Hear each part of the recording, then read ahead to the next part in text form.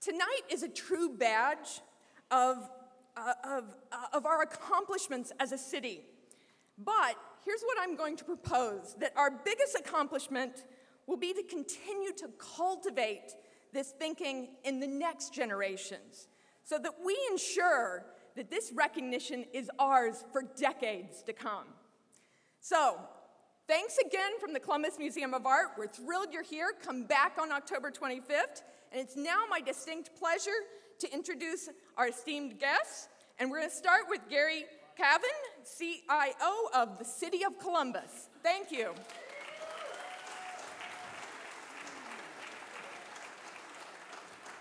Thank you very much. Uh, first of all, I'd like to thank the museum for having us back again. You give them a round of applause, please.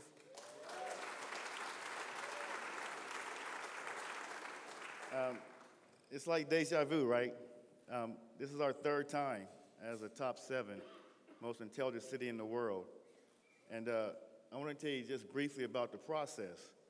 It begins with 400 cities applying for this designation. It goes down to 21 and then down to seven. So whether we win or not, which I believe we are, but if we don't, we've already won as being one of the top seven communities in the world. People are beginning to talk about Columbus for a lot of reasons, not because of this, but this is one of the reasons around the world, and we deserve that. Um, and so, one of the things that has been uh, prevalent in our community has been leadership, from the mayor's office and the mayor to council to the business community. The way we collaborate is the reason why I'm standing here tonight again, representing our city as being one of the most intelligent communities in the world. And so, in the next uh, few weeks, we'll be going to Toronto June 8th. Um, and then uh, on that trip, they will announce the most intelligent city in the world. Yes, Columbus. I'm very hopeful that when we come back home, it will be with that designation as the most intelligent community in the world. In the world. Now, one other quick thing. There are only seven of us, right? There's only one other community, and it's a county in Virginia that's in the United States. All the other ones are worldwide. So we're doing something right here.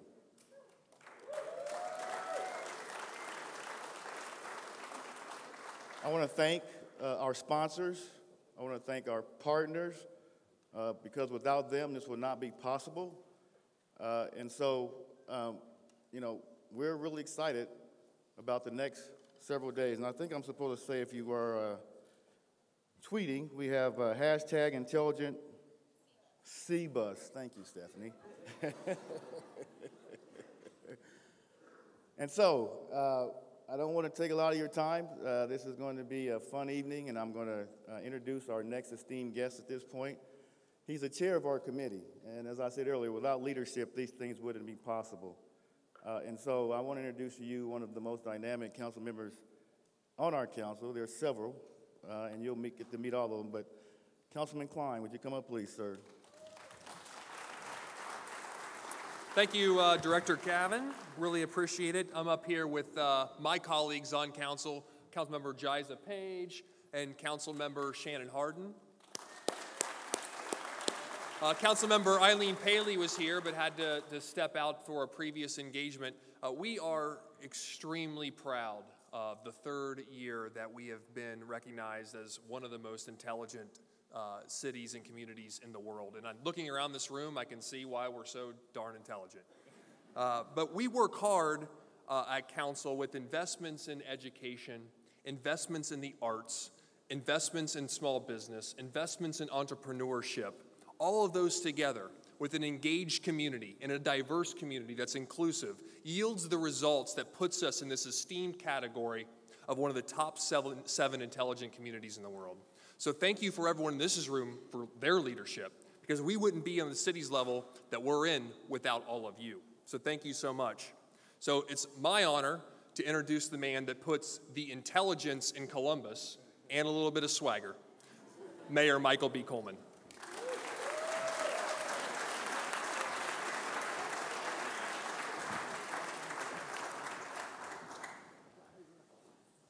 Boy, I tell you, these folks are the best, the absolute best. Shannon Hardin, Zach Klein, and Jaiza Page.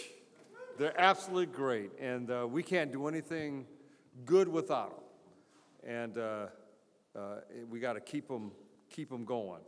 So I'm so proud of uh, all of you, and I'm so proud of the fact that this is our third time as uh, one of the top seven most intelligent communities in all of the world. How about that?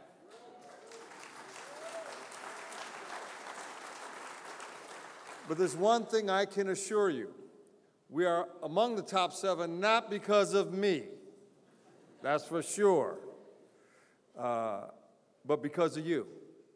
Because of all the things we have done in this community to elevate each other, to elevate our city and our residents, to focus on the things that matter most. In fact, this year, our emphasis is uh, urban communities. All the things we've done in neighborhoods around our city, from the short north to the King Lincoln district, uh, with the, all the, the PACT effort, Franklinton, around Children's Hospital, and on the south side, and many other places in the city of Columbus. And what they're seeing from us is what makes us special. And what makes us special is the fact that we collaborate, we work together, we look at things comprehensively and not in a silo. In all of those neighborhoods, we've put together a collaboration and a comprehensive effort that is transformative to that community. And each and, one, each and every one of those efforts have resulted in national and international recognition. In fact, Columbus is the best practice around the nation. And we're proud of that. And so,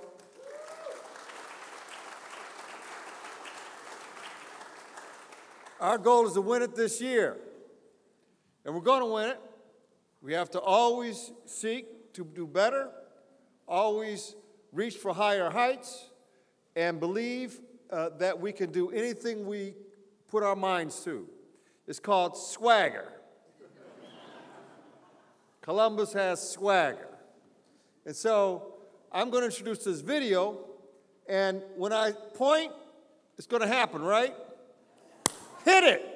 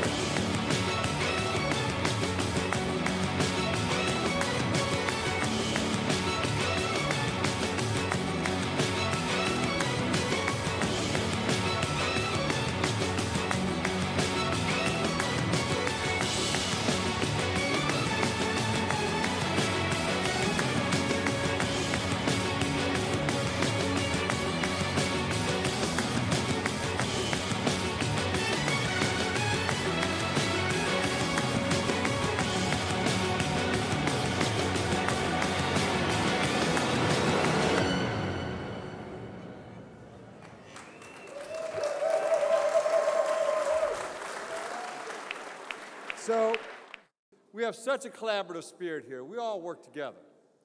We all work together to make the city great for our residents.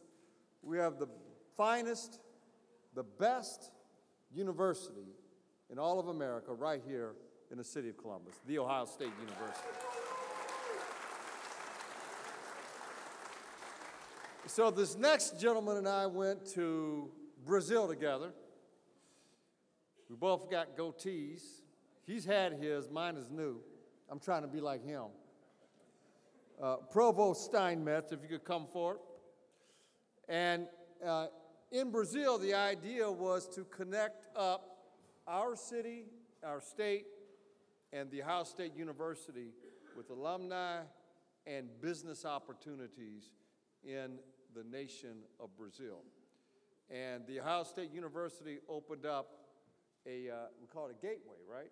A gateway. And uh, we were there to cut the ribbon and to engage in what I think is very important to business and opportunities between the people of Brazil and the people of Columbus, Ohio. Mr. Provost, welcome. Thank you. Thank you, Mayor. And uh, for those that don't know, my real first name is Joe. I don't go by Provost very often. um, I've been here in Columbus for about six years. I came here in 2009, and I was absolutely thrilled when Ohio State at that time offered me the position of Vice Provost and Executive Dean of the College of Arts and Sciences here. Um, before deciding to accept the position, my wife Sandy and I took a good long look at Columbus, of course. We're impressed by the city's solid infrastructure, the robust economic growth, the vibrant arts community, and the university's partnership with the city of Columbus and many, many other entities and, and places like Battelle. We heard of Columbus as a knowledge and information port, which really perks the interest of an academic like me. I took a job, and Sandy and I totally immersed ourselves in Columbus. We have a condo downtown here on High Street, uh, right next to the Elevator Brewery, which is very, very convenient. they know me well. And in addition to, I now serve as the university's executive vice president and provost, and I have the good for, fortune of also serving on the board of Experience Columbus Kappa, and I've served on the Columbus Symphony Board as well. All of these are exciting boards to be on, and there's a lot of excitement there. And I just can't say a good thing, enough good things about this very lively community.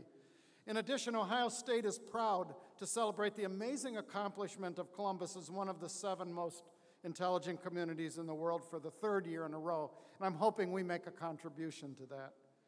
Ohio State proudly partners with the City of Columbus in many arenas, and just to mention a few, such as Partners Achieving Community Transformation, known as PACT. It's a collaboration among the City of Columbus, Ohio State, and the Columbus Metropolitan Housing Authority. It's working with Columbus City Schools and the Wexner Medical Center to transform the Near East Side. And since 1975, the university has collaborated on a grant competition with Battelle Memorial Institute. It's called BETHA, the Battelle Energy, Engineering, Technology, and Human Affairs Endowment, to foster programs that explore com- complex relationships between science and technology, and also the important broader cultural and social issues. Educators, instructional designers, and technology leaders from around the country come to Columbus every year for Ohio State's Innovate Conference, which will be held shortly, where we learn the best practices for technology and learning and teaching and research. This year's theme is community, and it explores how technology connects to affordable, high quality learning resources, improves collaboration between scattered researchers, and provides access to education where it otherwise would not be possible. And Ohio State's leaders in educational technology are partnering with industry leaders around Columbus, such as Battelle Education, to prepare local K 12 students for higher education and fast paced, highly technical workforce of the future. We're also very proud to be partners in the effort in the Metro School, which is doing wonders in STEM education.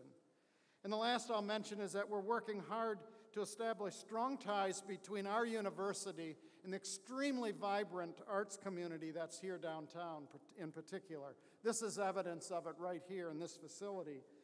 Uh, and I believe that great arts and great culture make Columbus a great uh, place to live.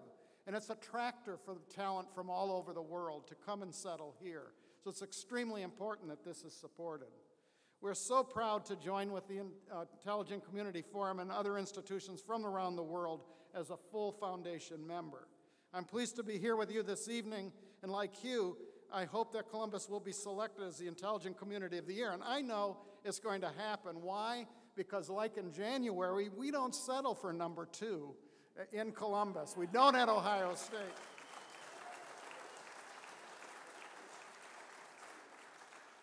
And we didn't in wrestling, we didn't in shooting and synchronized swimming in the last couple of months either. So thank you for making Columbus an exciting place to live, work, and to be educated. Thank you.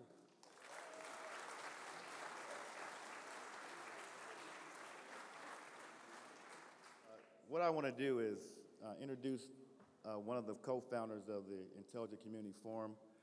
There are three of them, and uh, they have all been to our community now.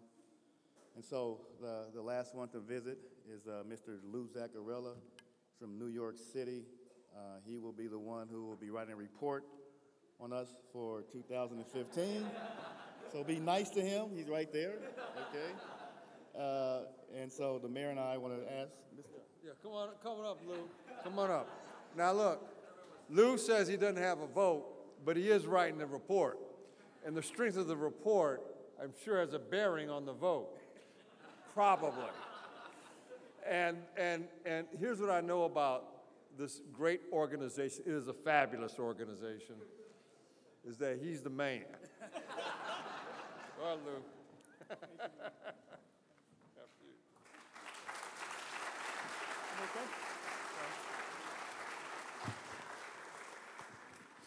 You know, I'm from New York, and I kind of thought I was going to get double teamed there. But uh, I always do, but in, in, a loving way, and that's what makes this such a great city. Um, thank you, Gary, and thank you, Mr. Mayor. It's, uh, it's an honor to be here. Um, this is one of the world's uh, intelligent communities, one of the top seven, and so it was a big year for you. Um, you obviously, uh, you won that thing out in the shoe, uh, and then you did this, so give yourselves a hand.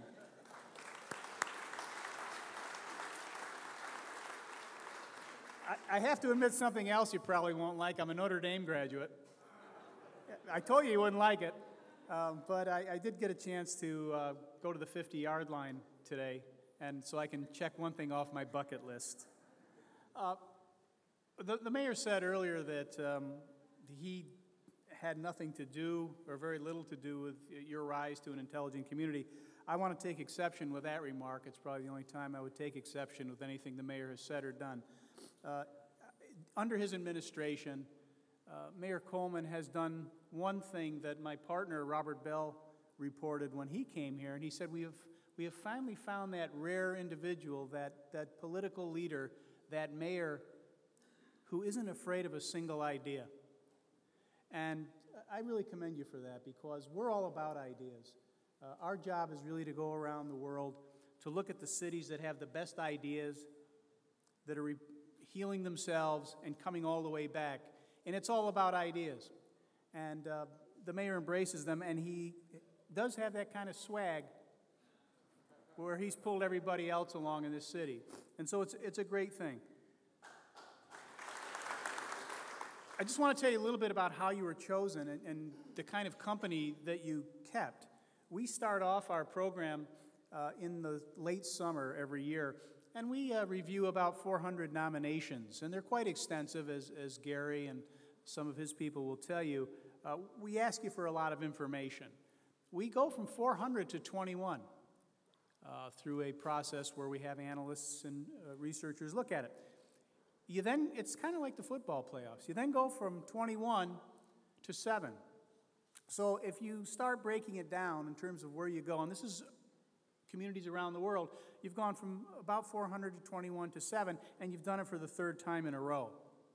And that's, that's a remarkable achievement. We, we judge you on six basic criteria. I won't go into them here, but a lot of it has to do with not just that you have good technology, broadband, but that you are using it to harness things to it that are far more important than technology your knowledge, your diversity, your aspiration, your sense of community, your quality of life. Your quality of life is a state of mind. But when people start believing, as they do in these intelligent communities, something dynamic happens.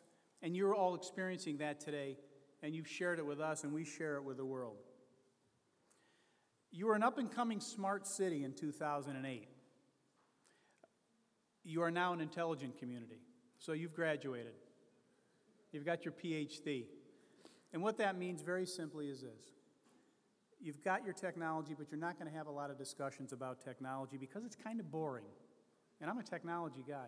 You're now having discussions about how you go to the next level, how you layer intelligence on there, and how you layer the things that you want to work on over that with the technology below you. So at the end of the day, there's still a lot of work to do.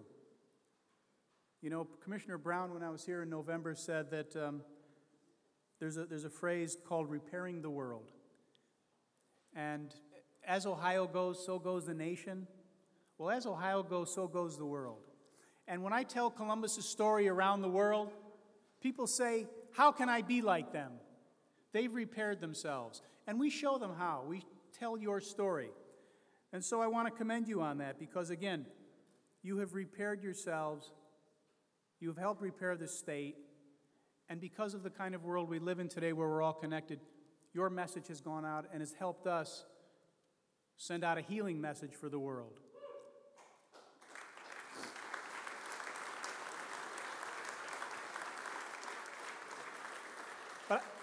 And I've been around here for the last two and a half days, and, and I've uh, obviously overwhelmed. I, I really got my got knocked out by it all. But there's still work to do. And we know what that work is. We have to bring people together. On, one of our characteristics, our criteria, is inclusion, digital inclusion. We have to go there. If we don't go there, we can't call ourselves communities. We think we're getting there. And I know you're getting there. And again, I, I honor that, and I want to be a part of it, and I want to continue to tell your story. One final thing I really don't make the decision. so when y'all, when y'all come up, when you all come up to me tonight, be nice.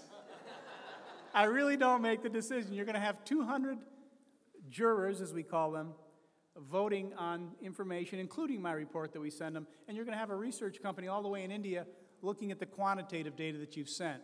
So again, you've already won by being one of the top seven. You got a one in seven chance to be Intelligent Community of the Year.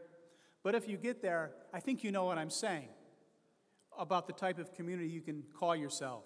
But irrespective of what happens in Toronto, and I welcome you all there, have a little swag, brag about yourselves. You've done great work, you've inspired me, and I will tell your story around the world. I promise you that. So God bless you, and good night.